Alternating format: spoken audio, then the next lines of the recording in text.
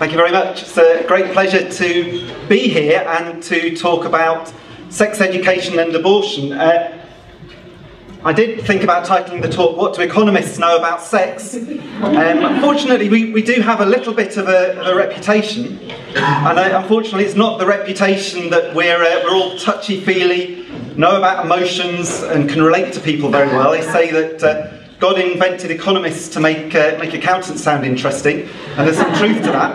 And you do have to be, to be careful. When econ- if an economist comes up to you in a bar and says, Can I uh, tell you about my stimulus package? He's not thinking about what you're thinking about. That, sorry, that's my best joke, so it doesn't get any better than that. I won't tell you about economists liking to do it with models.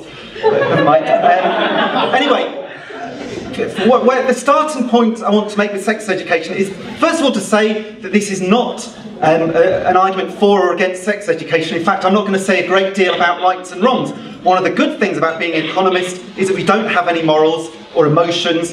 We're very robotic, we're very uh, single minded, but that can help when you're trying to look at facts and figures and trying to look at evidence that may or may not support your arguments. Okay? And in fact, one of, the, one of the things I do, I'm a school governor, and I'm in fact the school governor responsible for uh, school sex education or overseeing school sex education in a secondary school in Nottingham. So I'm certainly not opposed to the idea of schools doing sex education. What I want to talk is about some of the links with abortion. And here's a, a starting point. You may have sort of seen this sort of, had this sort of argument put, put to you that somebody says, right, you know, if you really say you're pro-life, you wouldn't bother trying to change the law on abortion. That will have no effect. What you really need to do is to get sex education, contraception to young people. That will cut abortion rates. And it's a very sort of powerful uh, argument for many people. It's quite shallow to some extent, but I think it's something that we've, we've come across, and that's sort of my, uh, my starting point. You know, what can we say in response to that argument? Is there some validity to it?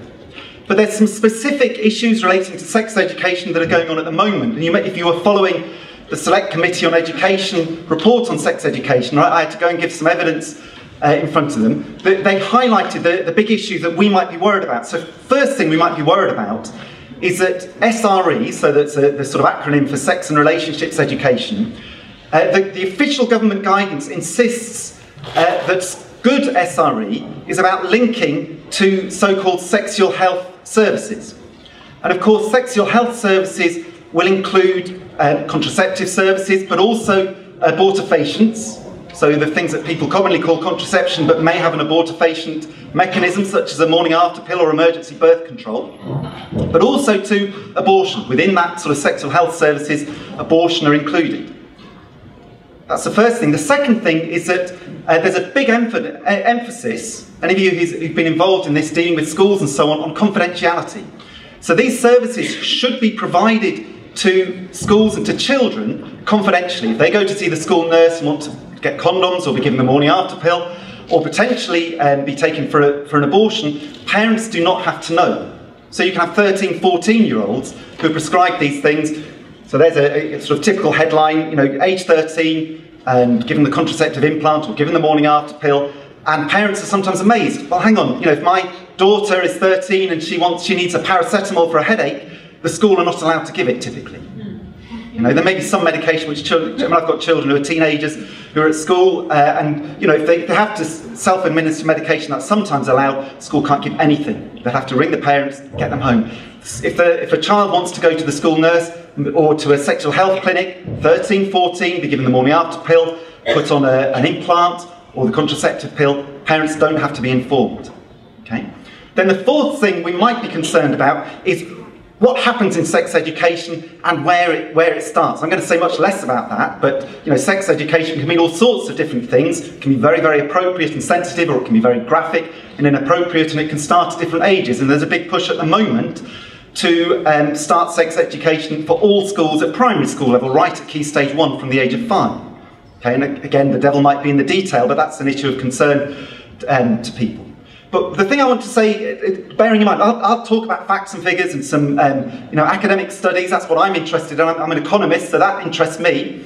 Better interests you, or you're in for a, a tough uh, next 50 minutes. Um, but at the back of our minds, it's really important that we uh, remember that actually we're dealing with real people. So here's two individuals, um, which you may or may not have heard of. The, the, the character on your left William T. Saturday is an American. He was a teacher in McHenry County, okay, in, near, uh, in Illinois, near Chicago.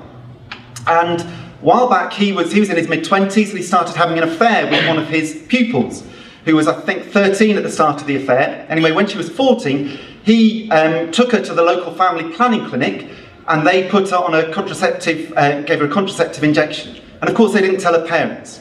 And she, she told them that, you know, well, my boyfriend's two years older than me, and if you don't do this, I'll probably get pregnant, I'm going to have sex anyway, the normal sort of things. And of course, this affair with this mid 20 year old man went on for a long time. Eventually, the parents found out they, they sort of you know, picked up eventually on mood swings and depression, what have you, going on with their daughter. And eventually, it came out that she'd be having this affair with the teacher, and the abuse had been perpetuated by this sexual health clinic. Okay? And that had been going on for, for however many months. Well, in, in that case, those parents eventually had a big campaign, and they're the only county in America where they stopped um, providing birth control without being able to inform parents. They said, well, it was a condition of getting money from the federal government. And they said, well, no, we're not going to take the money from the government anymore. And so that clinic still doesn't, um, you know, won't provide those services to a 14-year-old girl. The other, the other um, girl in the picture is Melissa Smith. You probably won't have heard of her, a, a few years ago now, but she was uh, from Nottinghamshire, where I am, so I live in Nottingham. She's from the north part of the county, very um, high rate of teenage pregnancies in that, that, part of the county. And they had the standard sort of sexual health services. She went to her um, school nurse uh, and told her she was pregnant. And the school health professional uh, took her to the hospital, not, not, straight away, but eventually took her to the hospital uh, to help her have an abortion. Uh, and this girl was, uh, she was 14, Melissa, and she was given the abortion, uh, given the abortion pill, RU486. She went home, you take the abortion pill at home, and she started having a, you know, as you do, a sort of miscarriage up in her bedroom. And that's when her mum found out, when she was in the middle of having the abortion in her bedroom. Okay? So this poor girl facing that situation, this poor mother, of course, was absolutely outraged. How could this happen? How could the school do this without my permission? Uh, could not believe it was legal, but it was absolutely clear, and indeed the law was clarified once and for all a year later that this was completely legal. Right, that um, the school, you know, maybe you know there are certain conditions where you're meant to inform parents, but in principle, you don't have to inform parents before taking a 14-year-old to have an abortion. So she was there on her own in her bedroom with her mum downstairs, not knowing what was going on. I mean, I, I find it horrific. And the, the upshot of the, the, story is, you know, how terrible for her. A year later, Melissa was pregnant again by the same um, same boy, and she did have the baby um, at, at, that stage. But you know, this argument that well, we need these services because this is going to stop uh, teenage pregnancy and so on is really at the, at the heart of things. It's really at the heart of things. So these are some questions I want to talk about now. There's lots. Of, mean, it's a massive topic. Lots of other things we could talk about. Firstly, you, you, you may have seen in the news, teenage pregnancy in this country has gone down quite drastically over the past few years. And so a big question is why? And if you read some of the, the, the, press, you'll say, or you read the Family Planning Association where they comment on statistics, they'll say, oh, look, you had more uh, contraception and sex education, uh, and this is why you had the teenage pregnancy strategy, some of you may have heard of um, a number of years ago, and this is why uh, teenage pregnancies are going down. Well, this is sort of the, the, research I do, looking into the statistics and what, what is the, the real driving factors behind it. Um, in particular, does access to birth control for teens, so birth control in the broadest sense, and in the morning after pill, um, implants and so on, long-acting reversible contraception they call it now, where they inject uh, young girls and, and, and, you know you don't have to take a pill every day and so on. Does this actually work in reducing abortions, teenage pregnancies? And that's a really important issue. It's not the most important issue. We're here out of principle. But actually, if somebody, you know, you, you, if you're a parent or you know parents and somebody says to them, well, you know, your 13 year old daughter, do you really want her to get pregnant? And the response, of course, is, no, of course not. Um, do you want her to go on the, on the pill? No, of course not. I don't want her to be having sex. But, but, if it's the difference between her getting pregnant and, you, and you're telling me it's better off if she's, she knows the services are confidential, perhaps that's the, the, you know, the lesser of the two evils, or perhaps rather that happen. It's a very attractive argument to many, uh, to many parents who perhaps don't have strong views one way or the other. So it's a really important question. And then you know, the talk's titled Sex Education and Abortion. I'll say a little bit about you know, what is the evidence on sex education itself uh, and abortions or teenage pregnancy and so on, but I'll, I'll perhaps leave some of that for, for questions. So the, the first question is about um, teenage pregnancy rates in the UK and abortions, there you go. First, uh, it's been, it's been a while before I've shown you a graph. That's quite good, isn't it? Um, here's a graph of teenage abortions in this country. You can see um, up to, this is for under 18s, that's sort of the, he the headline group which the government's been interested in looking at. You can see for a number of years, very little change. Um, from about 2007 to 2008, we've had a really steep decline in teenage abortions, the same for um, teenage births as well as it happens. Okay? In fact, there's other countries that have experienced something similar. New Zealand's experienced something similar. You know, England's always had um, the highest rate of teenage pregnancy of, any, of pretty much any country in the Western world, um, even higher than Scotland. By the way, these figures are for England because the Scottish figures don't quite coincide in how they collect them, but the pattern is not dissimilar for Scotland. What's been going on in the past few years? I'll just add to the graph. We talked about it, I mentioned the government's teenage pregnancy strategy. That started in 1999. This was a big effort where they said, you know, we're going to push everything into um, more family planning, more birth control for teenagers, confidential access to abortions, to um, birth control, more sex education and so on. A really big push. This was when we had the morning after pill free of charge in chemists and so on. Quite interesting. What, what do you notice about the, um, about the, the graph and the two points when the teenage pregnancy strategy started and ended? It's, it's interesting, isn't it? So we had it started in 1999.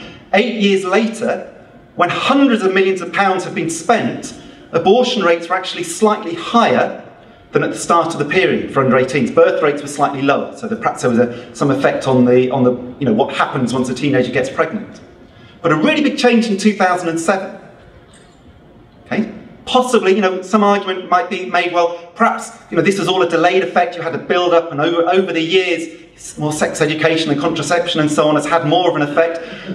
It, it, it's not impossible, but it's not that plausible to have a sudden change eight years after the programme started and when all the money was spent.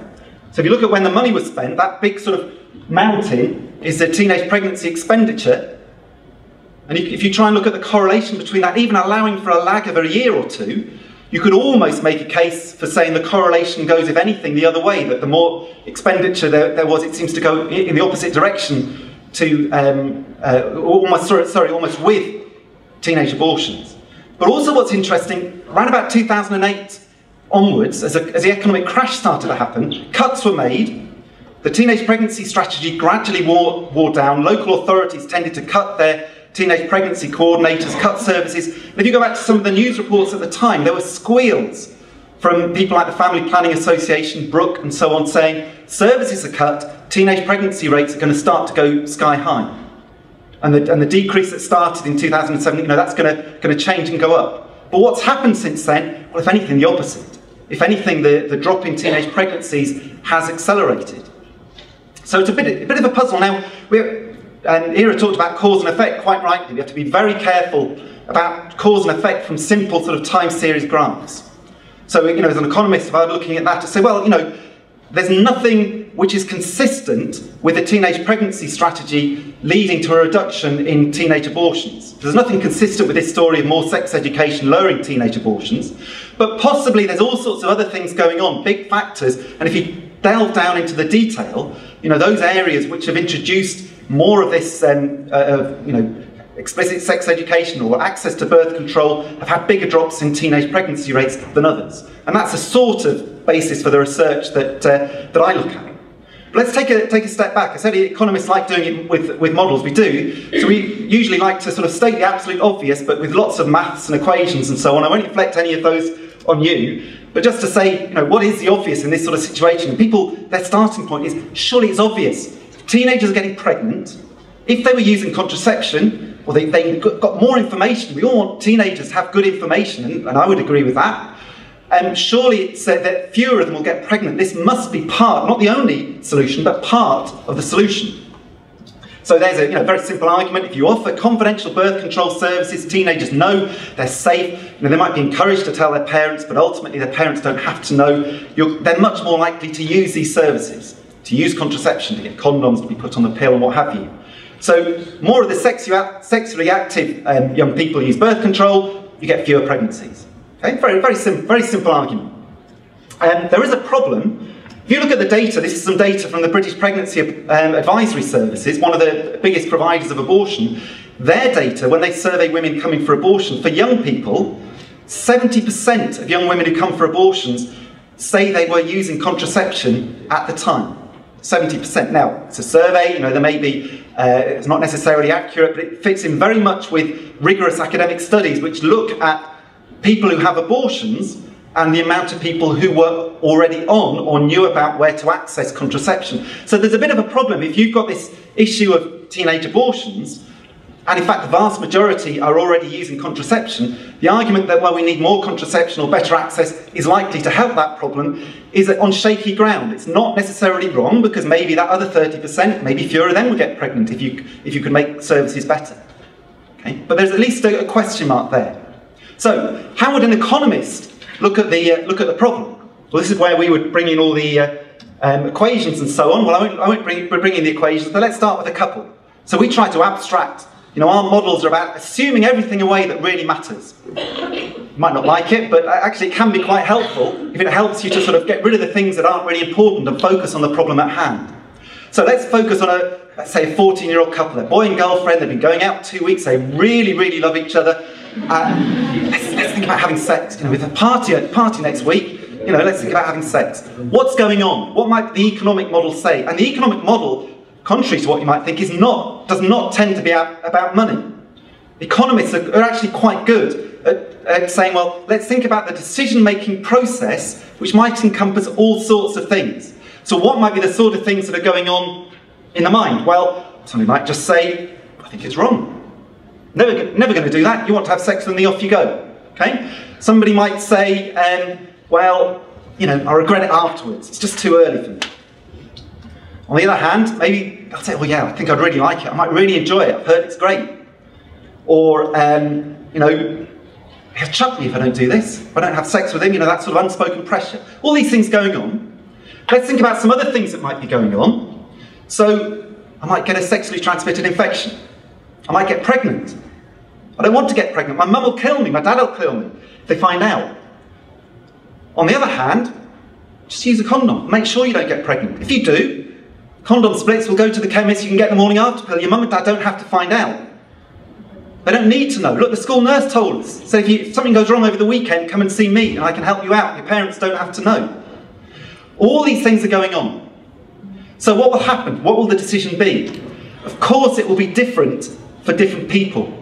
There's a phrase that really annoys me when I see it the, in the media. You get somebody from the Family Planning Association or somebody ringing in on a phone and they say, well, you know, you can't stop 15 year olds having sex. If they decide they're going to have sex, they're going to have sex whatever you can do about it, whatever you say. The only thing you can do is make sure they have sex and are protected. And of course, it's, it's a load of nonsense. It's true for some, there are some people who perhaps you know want to have a baby, want to get pregnant, and maybe they will have sex anyway, or they're just desperate to have sex and they will. There are others who never will, whatever you do. And then there are some in the middle who it depends. They're at this party. The boyfriend's bought a bit of drink, or maybe it's a girlfriend trying to persuade the boyfriend, who knows? They're a bit tipsy, and that changes their decision making process. Or they're umming and ahhing, saying, well, I might regret it, say I get pregnant. The boyfriend says, Look, I got a condom from the school nurse or wherever it was. I'll make sure you don't. And maybe that tips the balance. It won't for everybody, but for some people, it will. So we economists talk about at the margin. Have you ever heard that phrase? At the margin. We talk about the marginal person. You know, some people who, you know, nothing you do will make any difference, but there are some people right at the edge. They're at the margin, and small changes affect them. And when you're looking at averages in the economy as a whole, or teenage pregnancy rates as a whole, those people at the margin matter. So let's just sum up what, what might happen. For example, you provide condoms at schools as part of your sex education policy, let's say. So, yeah, more young people will use condoms, probably, if they're promoted. Pregnancies should go down. But at the same time, some of those people at the margin will have sex when they wouldn't have done otherwise. The people at the, bo- at the bottom half of the slide. Some of those will get pregnant. Maybe they, um, you know, actually use a condom and it doesn't work. We know they have very high failure rates. Maybe they think about the morning after pill. They end up not accessing it. They have sex and they don't bother to go down to the, the chemist. Their decision changes. Okay, whatever. Some, young, some of those young people will get pregnant. What happens overall, we just don't know.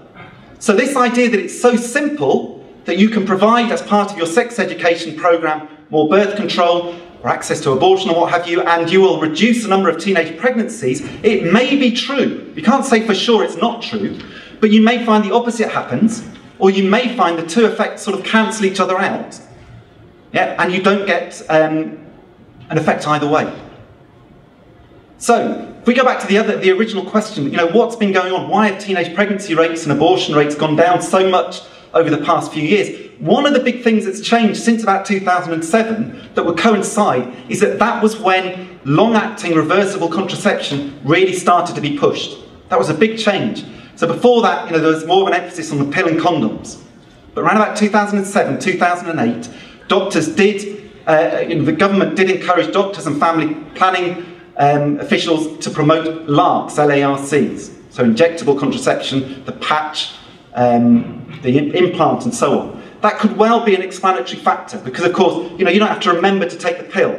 You know, the condom isn't going to split. You get injected, and that's it off you go. There might be all sorts of other problems. You know, it's quite possible that could reduce pregnancy rates, and it may still be wrong because, you know, perhaps we don't want 13 or 14 year olds to, be, to encourage them to have sex, or because some of those methods can be abortifacient, so they may cause very early abortions.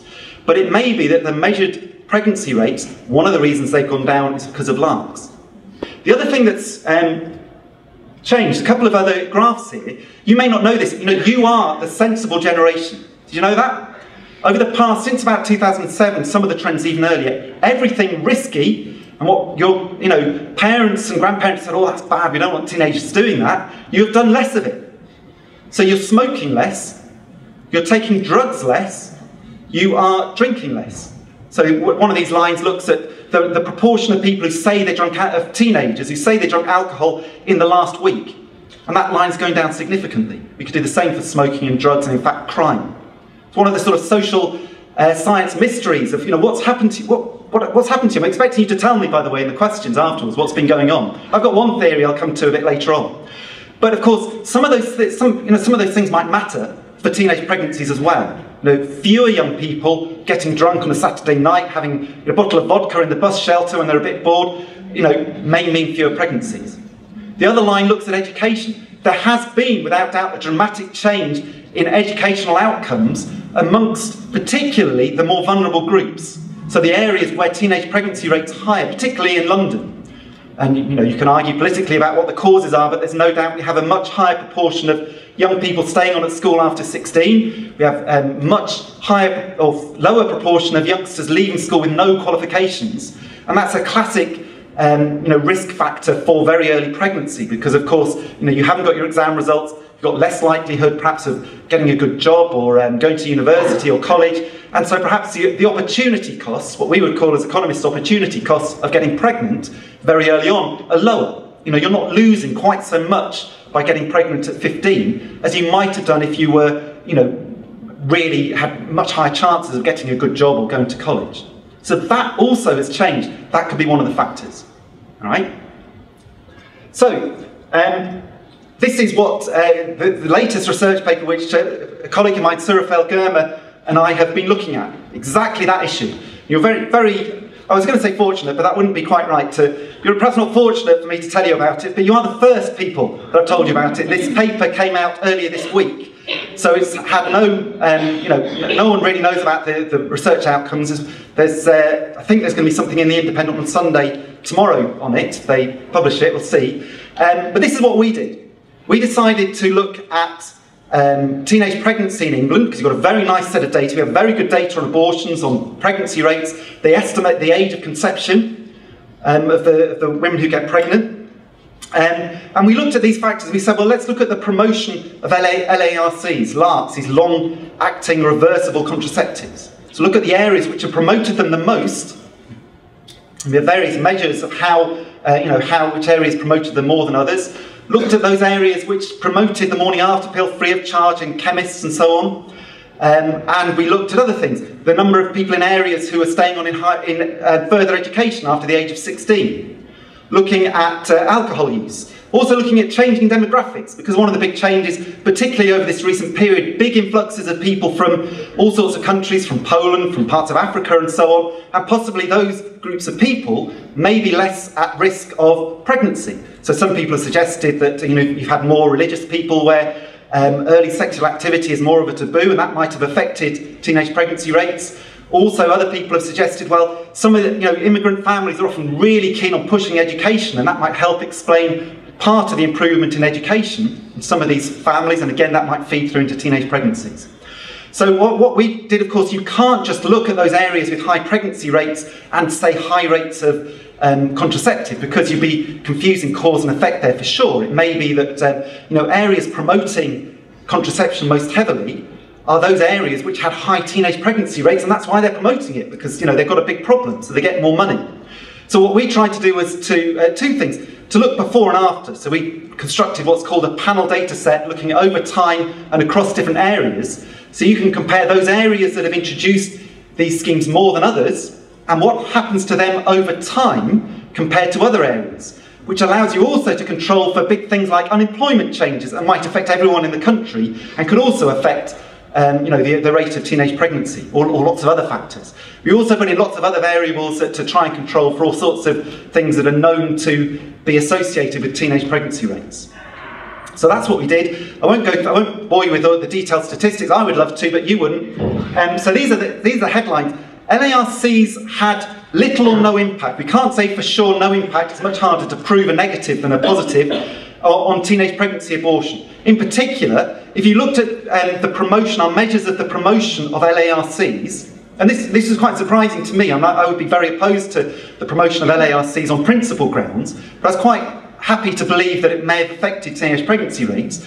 But you look at the promotion, most of the estimates are negative. In other words, it looks like more LARCs lead to fewer pregnancies, which is what you'd expect. But A, the effects are very, very tiny nothing like enough to explain any part of the decrease in teenage pregnancy rates, but also virtually none of them are what we call statistically significant. So in other words, even though the sort of headline figure, if we had to guess, is, is that there may be a small effect, it, we can't dismiss the possibility that it's zero. So really we would say, well, if you're being really pushing it, you might say we found evidence of no effect, that's pushing it a bit too much. We found no evidence of an effect. We found really strong evidence for education though. Changes in education were able to explain the vast majority of changes in teenage pregnancy rates across areas. So those are areas that had cut their teenage pregnancy rates tended to be the ones that improved their exam results, making it simple. We also found a, a, a reasonably strong um, presence of this demographic argument that areas with uh, more immigration were the ones that had seen bigger uh, decreases in pregnancy rates. We're, we're not so confident about that result because the data is much harder to get um, consistent over time. We can talk more about what we, what we use to, to proxy that, but so we're not quite so confident on that result. But the education really came out. Emergency birth control, that's, you know, EBC is often called the morning after pill. The, the so-called sexperts like to call it emergency contraception. Well, I think the best term for it is emergency birth control, given its potential abortifacient ac action. No effect at all. No effect at all. I'll, I'll, talk very briefly about some of the other studies. This is not a surprise. The LARC finding is new. No one has looked at the effect of LARCs. And as I said, I was quite prepared and expecting to find a bigger effect there. But emergency birth control, we know from study after study, it has no effect on teenage pregnancies and abortion. When that was being promoted, the, uh, we were told this is going to cut unwanted pregnancies by 50% at least if we can make it easier for women and girls to access uh, emergency birth control. Every single study to date finds no effect on unwanted pregnancy, teenage pregnancy, abortions. Okay, that's the thing, you know, lots we don't know about social science, we have conflicting findings, not on, on that point. Um, oh yeah, so why, why are you the sensible generation? I'd say I'll, I'll give you my theory. Uh, education doesn't explain everything, and of course there may be other things going on underneath it. But you know, there's no doubt that you know you can say surveys people don't always, they might tell you what you want to hear, but if you track surveys over time and from different sources, this is, this is the case. You are the sensible generation, but it is true in lots of other countries. Because, you know, this, we're seeing a bigger picture, aren't we? That teenage pregnancy rates are going down at the same time as all these other things. So it doesn't really make sense to think that, well, so-called, you know, suddenly school sex education has suddenly started to have an effect. You know, people have been doing drugs education, smoking education, alcohol education for years, and similarly saying, well, it doesn't seem to have much effect what we do in schools, but something has changed. This is my theory as to what changed. Uh, I, think it's the um, social networking. Uh, and it's only a theory, it may be completely wrong, you know, we haven't tested this on evidence, but the time timing really works out. I look at my, my kids and uh, you know the timing. They're, my eldest is nearly 18. When you look at the real growth of, uh, Facebook, of all the, the new social networking apps, it really times in well with this change in risk-taking behaviour. Uh, and you know, you, so that sort of to stereotype, instead of sitting on the bus shelter with a uh, with a bottle of vodka and then you know disappearing into the park with your you know 15-year-old friends, you're sitting in your bedroom. And there might be all sorts of bad things you're doing on the computer, but you're sitting on your own in your bedroom, communicating with um, with friends elsewhere. So that's my theory. But you'll know much better than me because you're living through this. So you might say, well, that's a that's a load of rubbish. But there is something going on that people don't really understand. That's changed in the past, you know, seven, eight, nine years. Um, Anyway, I said about other research. I won't. Uh, I'm quite keen to. We have plenty of time for questions. But uh, by the way, please think of some questions, or we'll be sitting here in silence. Or, or I can. There's lots more I will be able to say, uh, talk about, but I'll be going for a few minutes more. Um, so, summarising some of the research, and this is. Uh, you know, there's some citations in the evidence to the select committee if you want to sort of go and look at some of the papers. And by the way, if any of you, you know, you get a research paper, um, and uh, I love the, what was your phrase here? Was it telling the truth with, or no, lying, lying with the truth. Was that right? Yeah, lying with the truth. I really like that because you do see that a lot with research papers where they find a very clear finding and then you look at how that's spun and what the recommend, recommendations are at the end, and there's no connection between the two. Uh, I see this a lot. You know, I get uh, papers to review, and some, sometimes they're quite good, and they're often, you know, they might be on sex education in Poland or Cyprus, and it doesn't matter what they are. There seems to be universally, whatever the, the survey they've done or the evidence they find, the solution is always, so Poland needs more sex education, or Poland needs, or Cyprus, or wherever the country is, and the solution always seems to be the same. You think, hang on, where did that come from? Um, so you do see that a lot. But if any of you come across a paper and you want to, you know, you want a bit of advice, what does this really mean? You're more than welcome to get in touch with me to send me an email. I may not be able to help, but if I can, uh, I will. But there's quite a lot of references in that um, submission to the Select Committee. This is a, really, a fair summary. So virtually no peer-reviewed paper, I've already talked about this, finds that the morning after pill cuts teenage pregnancy rates. Parental consent for birth control, there's much less evidence but the evidence that is there suggests that it doesn't lead to more abortions or teen pregnancies. So, for example, if you were to say, like in that McHenry County, okay, if you are going to give the pill to a 13 year old, you at least have to tell parents. Paper on looking at this in Texas, another state which have started to make it compulsory, at least in some areas, to tell parents before you give birth control. And the, you know, squeal saying, well, this is going to lead to more teenage pregnancy rates. The evidence isn't there, but there's not so much research, so we need to be a bit cautious on that. There's much more research about parental control for abortion. So, states in America, certain states have said, well, okay, if you're 15 or 14, you're a minor, in some states it's 16, you can get an abortion, but your parents have to know, or in some cases, your parents have to give permission. And these are, these are wonderful case studies from a, you know, forgetting about the rights and wrongs of them, but for, for us as economists, because you could say, well, what happens in those states before and after compared to other states that are similar that didn't have these rules? So you can get a nice, you're not, you're not certain about cause and effect, but as close as you can get in social science. And it's very clear that we don't just get fewer abortions, as you might expect, you also get fewer pregnancies in the first place. So it's not just that young people don't have abortions and then give birth, they end up fewer of them getting pregnant in the first place. So we go back to that decision making process, and part of it, abortion, if you like, is a bit more costly, not in money terms, but in the fact that my parents might find out.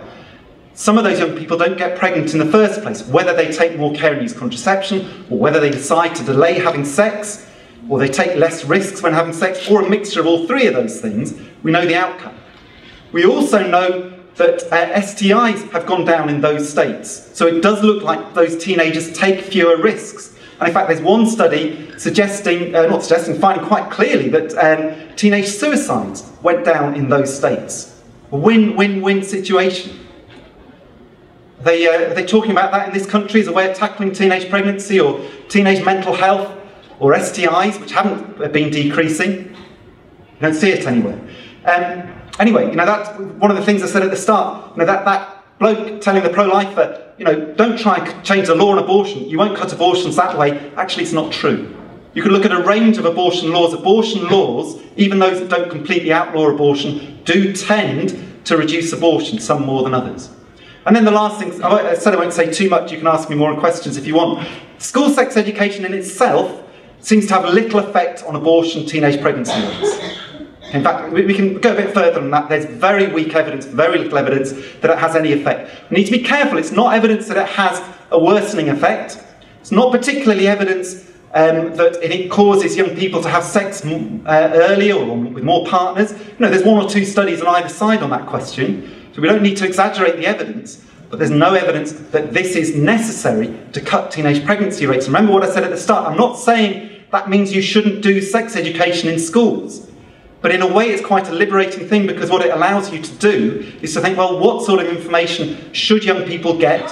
What's the right age to get it? What's the right way of delivering it? What's the right mix between schools and parents? Without saying, as we're often told, you have to do that because it's the only way we will cut abortion or teenage pregnancy rates. Something we haven't, haven't talked about, but is really much in the, in the news. If you read the Select Committee report, this is something they're really bothered about. And you've seen, I'm sure, um, just last week, the report from Oxfordshire of school of young girls under um, you know, sexual exploitation. What's the solution you get to these situations? Almost unanimously, it's well, they need more sex education.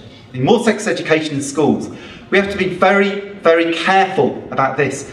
Look very carefully, because all these scandals that they have in Rotherham, in Rochdale, in Oxfordshire, and had one in Torquay, where young girls were exposed to grooming, sexual exploitation, there's actually a common factor. It's very interesting if you read the uh, serious case review reports. I'll give you a couple of quotes. Here's one from the Rochdale serious case review. So this 14-year-old girl went to the school health practitioner, school nurse, for a pregnancy test, proved positive. She told her, she didn't pretend, she told her she'd had sex with a 21 year old man, okay, and she didn't want her mother to know. I mean, I don't know what you're thinking at that stage, but you know, you'd think that flags would, would come up. Uh, she subsequently went for an abortion, and they, the, the, quote, this is from the serious case review, there is no evidence that consideration was given to safeguarding concerns, to concerns about child protection. Here's another, another quote from uh, the Torbay Serious Case Review, because we hear a lot about consent. Yeah, you heard, you know, we've got to give, uh, encourage young people to be informed consent. If you heard the phrase, you know, you see in sex education, wait until you are ready, until you know you're ready. I think it's one of the most dangerous phrases you can imagine in, that, in an educational environment. But this is what the Torbay, they said, well, you know, it, it's accepted by everybody that sex is not something to worry about in terms of abuse if it's mutual consent and with somebody of a similar age. But they said, of course, we have observed that much of the abuse happens with people who are sometimes only a couple of years older than the person concerned. And of course, people in very vulnerable situations will not always tell the truth about their partner. So if you know that there's going to be a red flag, if you say, Oh, I had sex with a 21 year old and I'm 13, and you're under pressure and you want to get put on the pill or whatever it might be, a natural response is to say, oh yeah, I'm, me and my boyfriend, yeah, he's 14, I'm 13, um, you know, we're, we're going to have sex, whatever you say, um, you know, put me on the pill. It's a natural response. The professionals know this. I could quote at least three more serious case reviews where the provision of contraception to young people has perpetuated child abuse, child sexual abuse. Right, what's the response? The response to these reports tends to be what we need to do is to have, uh, not to stop providing birth control or abortions without parental knowledge for under 16s, but to make sure we look out for sex abuse. So people are told to have a checklist to look out for signs of sex abuse so you have a review to see whether somebody's at risk of sex abuse. I'll give you one example of this. Um, you, have heard of Brook, I'm guessing most of you. They're the sort of primary um, so-called charity who provide sexual health services for young people. Uh, very, very uh, pro-abortion, as you can imagine. And they have developed a tool which the Oxfordshire case review, that's the most recent one, has included as, uh, you know, as part of their recommendations. So this is a, you know, a useful checklist if you're worried about uh, safeguarding. And they divide behaviours into green, orange, green, amber and red, like a traffic light. And so they say, uh, these are their, their behaviours, the things to look out for between the age of 13 to 17. Okay? I'll just sort of focus in a bit on um, what they mean by uh, green behaviour. So they, green behaviour represents safe and healthy uh, sexual development. So here's an example of what they mean by safe and healthy sexual development. Remember, we're talking about a 13 year old here. So consenting sex with others of the same or opposite gender who are of similar age. And what's the response to this green behaviour? This is safe and healthy. The response is to give positive feedback. So, this solution to this endemic child sexual abuse, as part of is more sex education, and as part of that, to carry on providing um, birth control services without parents knowing, but to have this sort of a checklist. I mean, in fact, I think it's a nonsense to talk about similar age anyway, because we know that young girls will often not tell the truth about the, the age of their partners. It's like saying, well, you know, we'll put this problem back under the mattress. This is, to, is this going to solve it? Of course it's not. Of course it's not. So just, you know, reminding us of some of the things that the, uh, the Torbay um, evidence talked about and the, uh, the, the, Rochdale evidence talked about. So, a couple of things I want to end off by, by saying. First of all, I'm an economist, I'm biased. Facts, figures, studies, research really matter. They really matter. We know, you know, the old sayings that people can do whatever they want with statistics. There's some truth in that. We have to be careful. What I hope to do is at least to give you some ammunition so that you can be prepared for the arguments you will face. But even though they matter, they're not the really important thing. At heart, the reason you're here, I would think, and the reason I'm here, and the reason I've been involved in the pro-life movement for so many years, dating back to when I was at uh, university, University College London. And by the way, we had the same issues that many of you face now of being, being banned from campus, stopping being giving leaflets out, trying to say that we shouldn't exist as a society and so on. And I have to say, right from the start, the support we had from SPUC was magnificent, which is why I've stayed involved and supported SPUC since then. But at heart, this is a human rights issue. And we know that. This is not about the facts and figures. You know, we, we, as I said, we shouldn't be exaggerating the evidence. There's enough evidence that fits in with, uh, you know, coincides with, uh, with our point of view, if you like. We don't have to go and make things up or exaggerate. And sometimes scientific studies won't come out the way we want them. That's not really the point. This is a human rights issue about what's right and wrong. And at heart, that's not just to say, you know, people sometimes try to make pro-lifers feel guilty. They'll, they'll, make you feel, well, you know, you're very high-minded at, at best. They might just say you're bigoted, ignorant, uh, unscientific idiots. But at best, you know, they'll give you the impression, well, you're very high, you know, very high-minded. I understand your principles, but you don't live in the real world. What a lot of nonsense. Because this is very much about living in the real world. It's a human rights issue because people, humans, are at the heart of this. So you are here, I would guess, and I'm here because we care about the unborn baby growing in the womb, every one of which is a unique, wonderful individual person. We're here because we care about the mothers who are pressurised into having abortions or feel they would like another choice or don't quite have, the, have full knowledge to make a proper choice.